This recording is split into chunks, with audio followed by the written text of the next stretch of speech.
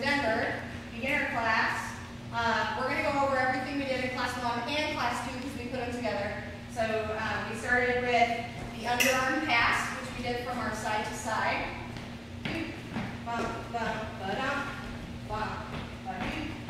Good. And then we also did the Lindy Promenade, which we did from our front to back step. Block, block.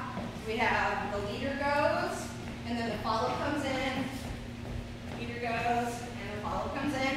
All right, and then from the front to back, we learned how to swing out, which is awesome. So we did our front to back, and in the hallway. Leaders don't forget to let go. And then we also did a swing out from um, open to close, close back to open.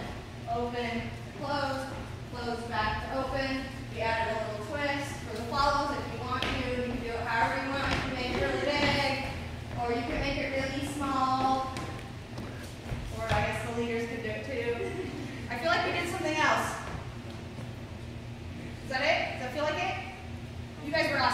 就这样练一下